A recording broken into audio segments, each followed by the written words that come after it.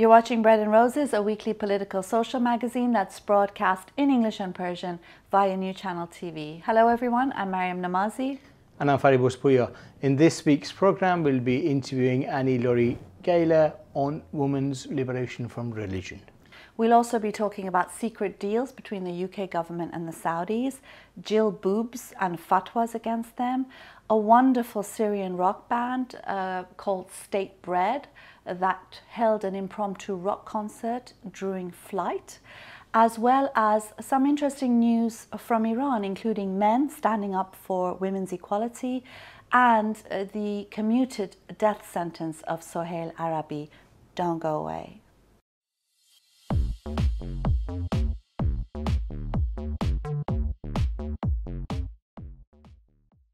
Well, with news of the week that passed, we've got lots to talk about. One is about news that's come out regarding a vote trade between the UK government and the Saudis to get them both elected to the UN Human Rights Council. The relationship between governments, it's, fine, but secret deals to get uh, um, Saudi Arabia on human rights, that's disgraceful. I mean, sometimes you, see, you hear um, governments express concern about human rights. This seems to be just to keep the public sort of uh, busy and they carry on with the secret deals. I think British government is complicit with the Saudi Arabia on violation of human rights. Yeah, and also there's other information uh, on how the uh, Foreign Office and Home Office have been working to help with Saudi's policing. I mean, helping with the policing of a um, repressive regime as, uh, as repressive as Saudi Arabia is atrocious. And you know, the good thing is that some of this relationship is being highlighted more and more, and there's pressure on this. Uh, but again, the the UK government has close relations with the Iranian regime, yes. and that too is something that doesn't come under enough scrutiny. I think there's clearly there are a lot of deals, uh, secret deals, um, that they need to be exposed. You, uh, and effectively, they maintain these dictatorial regimes. Yeah. I mean, we've, we've heard about the uh, news. I mean, the, on, on the other hand, we have the pressure from within the Iranian society trying to, um, you know, fight against the, um, you know, dictatorial Islamic regime in Iran. Yeah, I mean, the good news is there's this campaign um, where men are coming out and defending gender equality. And it's in response to the husband of the women's Iranian football team because he refused to allow her to, she, she was the captain of the team, to go to Malaysia to play. Uh, and the team won actually there. And so, in response to the fact that he's allowed not to give her permission to travel, men have come out and said, we give our wives permission to travel, we give them all their full rights back, even though the regime has taken it away from them. That's, you know, that's the pressure that it's working, uh, and it's important to highlight these uh, situation that the, in Iranian society is a huge anti-government, anti Islamic backlash in Iran and opposes all these changes. Yeah, and I think one of the other things, which is thanks to pressure, is that this death sentence of Soheil Arabi, uh, a young man in his 30s who was given the death penalty for insulting Muhammad, Islam's prophet, and insulting uh, the Iranian regime's supreme spiritual leader, his sentence has been commuted from the death penalty to uh, two years of theological study. He has to read 13 religious texts and report back to the regime on his uh, you know, on his understanding of those texts, but he still has a seven and a half year sentence for um, insulting Khamenei. Which is a crime in Iran to criticize the, the, um, the big dictator in Iran.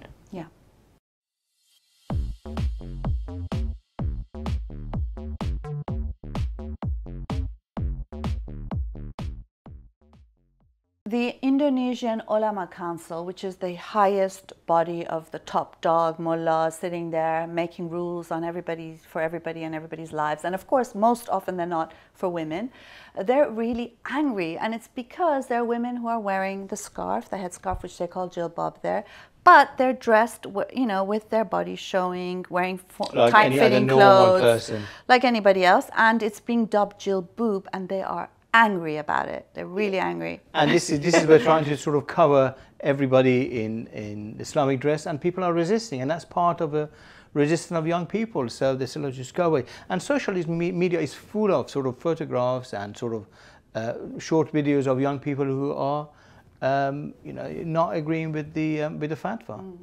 And what's funny is that they've said that, oh, there's already a uh, fatwa against pornography, as if, you know, a woman who's not wearing a tent or a body bag is pornographic because they hate women's bodies so much. Uh, but they're saying that, and it's really good that you've elected to wear the jilbab, but don't be vulgar, you know. And it's interesting how for them, a woman's body is so vulgar, you know, it's complete vulgarity.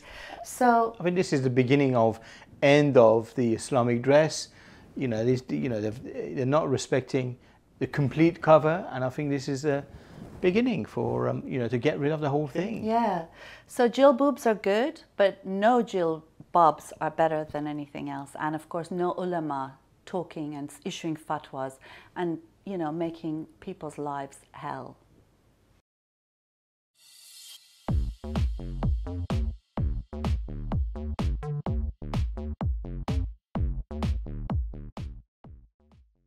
Khebez Dowla or State Bread is a Syrian rock group and they were forced to flee Syria when their drummer was killed and when they said that there was no more place for music in Syria, a Syria that they say is controlled and run by war criminals. Now, in, in the process of their flight, they actually set up an impromptu rock concert, and it is just, I mean, when I watched this, um, it's from Al Jazeera. It just made me have goosebumps all over. I mean, you, you, you get those many times. Yeah, I do, that's true. yeah. But I think this is, this is the human face of the people fleeing war mm. and, you know, Islamists um, and the, uh, and the um, Syrian government, the hell that has been created for them. And this, is, this shows the human face of the refugees and the reason why people are fleeing and you know you could see that and, and people need to recognize and, and support it. Yeah so watch this short video clip uh, from al jazeera on this uh, this this wonderful slice of life. Uh, really it's just goosebump worthy completely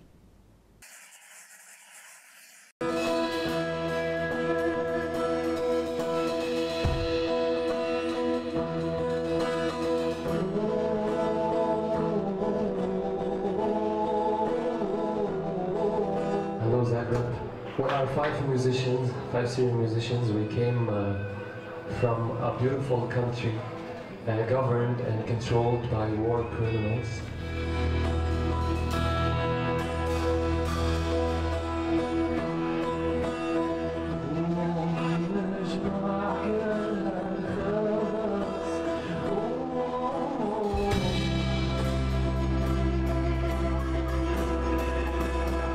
So it was surreal for us and for them, uh, and uh, we wanted to make it more surreal. So we we whipped out these copies of the CDs from the, the bags, and we we started distributing the CDs on the beach. We just bought a guitar in Athens to play on the on the road because we, we just basically cannot uh, stay like more than three days without playing or that jamming.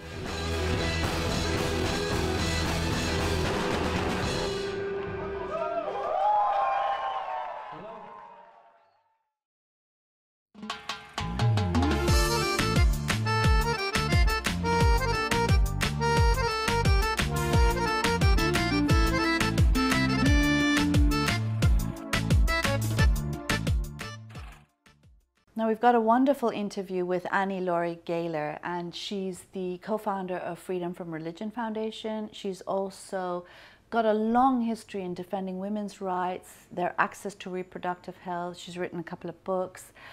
And I just find her so fascinating because she says the most wonderful things in the most soft and gentle, gentle way, and you just feel mesmerized by her. I felt I couldn't stop staring at her during the interview. I know, but the, the logic is powerful. The I mean, logic that, that, is so powerful. that's great. And when you see the link between the history of women's uh, liberation, women's right movement in the United States, which has a brilliant history, uh, against religious right, um, and you link that and you compare it with the current uh, uh, women's liberation in Middle East uh, and North Africa. You'll see the links, you see the history, you see the, how that's developing, and the linking of these two, I think, is just great to see. Yeah. Well, watch this interview and then we'll come back to discuss it further. Stay with us. Thank you for joining us. I wanted uh, to speak to you about the work you've done on women's rights. If you can first talk about what is fundamentally wrong with religion and the question of women. The Bible um, and the Quran are handbooks for the subjugation of women. Um, they lay all the blame um, for evil and sin on women, and in the New Testament, uh, it demands that women be subservient and be in silence. And we um, know the role of the Quran in oppressing women, and um, we have we need a women's revolution from religion because it's the principal enemy of women's rights. Um, it sanctifies the idea that women are inferior and sinful, and um, we uh, cannot uh, move forward while um, people um, believe literally in the Bible or the Quran. But um, I suppose people will say that uh, some women find religion quite liberating. Uh, well, I think people can believe whatever they like, but we can look at the damage that religion causes women worldwide. Um, for example, uh, reproductive rights in the United States, it's the organized religion, Catholicism, and the fundamentalists that are trying to take away not just abortion rights, which is a right that we won years ago, but the right to contraception. If you cannot control your own body and your own fertility, you can't co- control anything about your life. And Margaret Sanger, you know, said women cannot be free um, until they can determine if and when they become a mother. And most of the patriarchal religions have as their core the control of women and reproduction. Um, that's often, I mean, I think that's sort of the point of, of, of most religions, is to control women. What do you say to uh, women who say, but we're very free and we have all the rights that we need, but, you know, and we get that from our religion in a sense? So they're saying that there is freedom in religion for women? Uh, well, um, God, Allah, these are patriarchal concepts and abstracts. And as long as God is male, male is God. And uh, the Bible and the Quran set up a master slave relationship with God at the top, and then man, and then woman. And women are held in subjugation under uh, this doctrine. And uh, any freedoms that women have won have been in spite of the Bible, in spite of the Quran, not because of it. It's women who have moved religion forward, not the other way around. Uh, what sort of constraints do you see needed for religion in order to help ensure women have rights and equality? Uh, secularism would demand that there should be no religion, no doctrine, no dogma in our civil and secular laws. So, of course, we're I'm anti-theocratic um, and pro-secular government, and uh, you know, ideas held on faith for which there is no evidence or proof should not be in our laws, whether it's creationism or the idea that uh, there's a a human person at conception, uh, that there's an ensoulment at conception, which is the basis for opposing uh, contraception and abortion, for example. And we just see these casual references in, in the holy texts to covering women that are now giving us uh, burqas, um, which I think are such a, a terrible symbol of being trapped by religion circumscribing one's life. It's frightening to me to see women in burqas. Do you think women have a special and an added need to be free from religion? Well, yeah, because religion is is a male male religion. Um, with um, women cannot be free, I think, while there is religious patriarchal law, law governing our lives. And the history of the women's movement in the West has been the history of um, fighting religion, speaking out in public, although the Bible says you have to be in silence, demanding the right to uh, own property, um, to control of our own children, um, to be able to attend universities. All of these reforms in the Western world were vociferously opposed by the churches. It they, they were the enemy of the right to vote, and, and they are the enemy of women's right to ownership of our own bodies. And we are seeing the same kind of movement now in the Muslim world with women replaying this um, emancipation from religion, having to fight these strictures.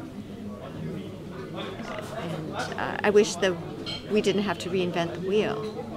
Um, but it's uh, to the great credit of um, women like uh, Taslima you, um, Hirsi Ali, and all the other women who are speaking out against the Muslim religion um, at, at, the threat of death uh, for their rights. Do you um, see any links between the movements for women freeing themselves from Islam to women freeing themselves from Christianity's rules?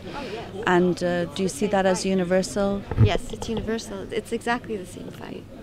And in fact, the um, Muslim, Christian, and Judaic religions share uh, the same um, Old Testament uh, texts in common. The Abrahamic religions have a core, common core. So many of the, you know, we see um, what happened to Farkhunda. Um, it reminded me of the passage of uh, what happened to Jezebel in the Bible, almost word for word, the same kind of uh, obscene violence against women for being seen as um, speaking out. In Farkhunda's case, um, you know, reproving an imam. How dare she? Um, when we see women stoned to death, that's right out of the Old Testament. Christians forget that, that they share this in common. You know, there's some that will say uh, women's rights that you fought for are Western, they're not universal. What would your response be to that? Um, I agree with you that these are universal rights, um, these are human rights and civil liberties.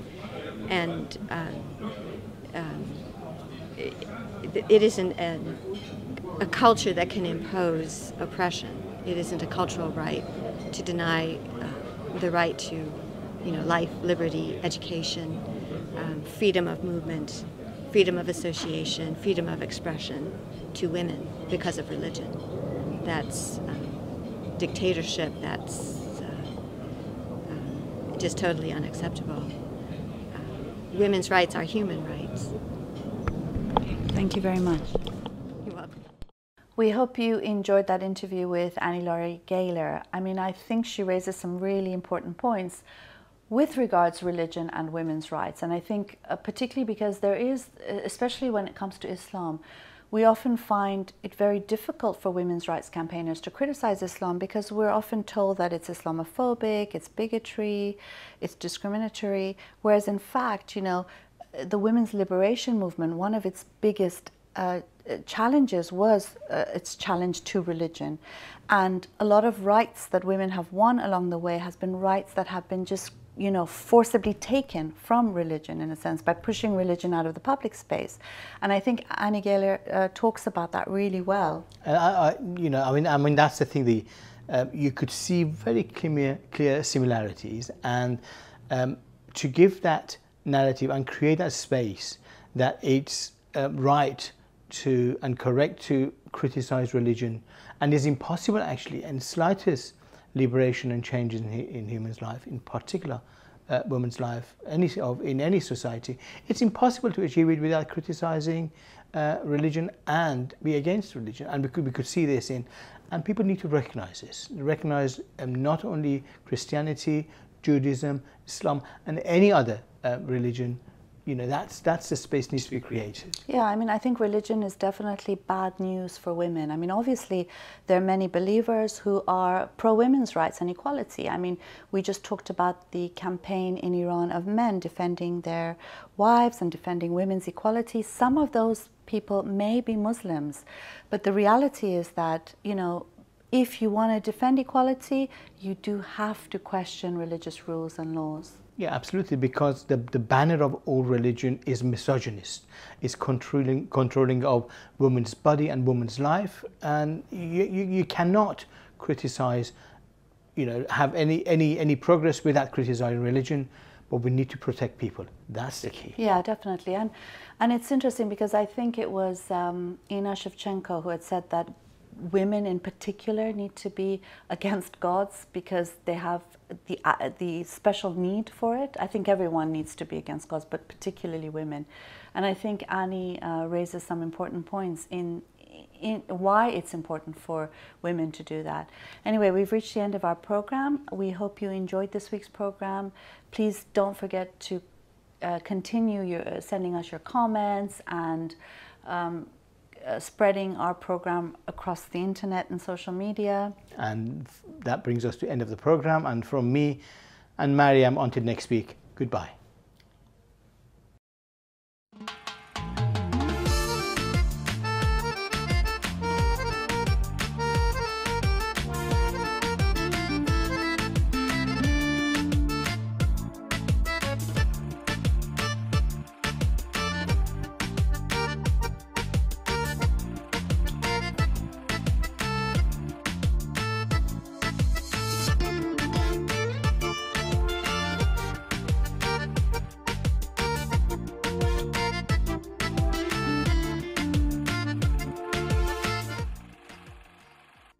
I'm Maryam Namazie. And I'm Fariborz Pooya. We're hosting a program called Bread and Roses. It's a weekly program that's broadcast in Persian and English in the Middle East and North Africa, primarily Iran as well. And it's also shown on YouTube internationally. And we've been doing this since last May. We're coming up to our year's anniversary, and Yeah. we, we've had quite a lot of fun making these videos. We discuss taboo breaking, free thinking ideas. The Islamic regime of Iran has called us immoral and corrupt. And that's why the, you need to support us. We are and the alternative voice in Middle East and North Africa. of corruption and immorality. So do support us. Here's a short video from Patreon that explains how you can help us with even just $1 a week. That's nothing. Support us. Patreon lets fans become patrons of their favorite artists and content creators. It's different than Kickstarter because it's not about one big project that requires lots of funding. It's more for bloggers or YouTubers or webcomics, anyone who creates on a regular basis. Here's how it works when you become a patron, you're agreeing to give an artist a tip of an amount you set every time they release a piece of content, whether it's a new song, a video, or a recipe. You can set a monthly maximum to make sure that you're always within your budget. Choose an amount, enter your payment information, and you're done. Becoming a patron allows you to view and post in the artist's stream, and in exchange for your support, artists offer additional patron packages, which might include monthly Google Hangouts, music production tutorials, pre sale concert tickets, or anything they can offer as a way to say thanks. Patreon, empowering a new generation of content creators.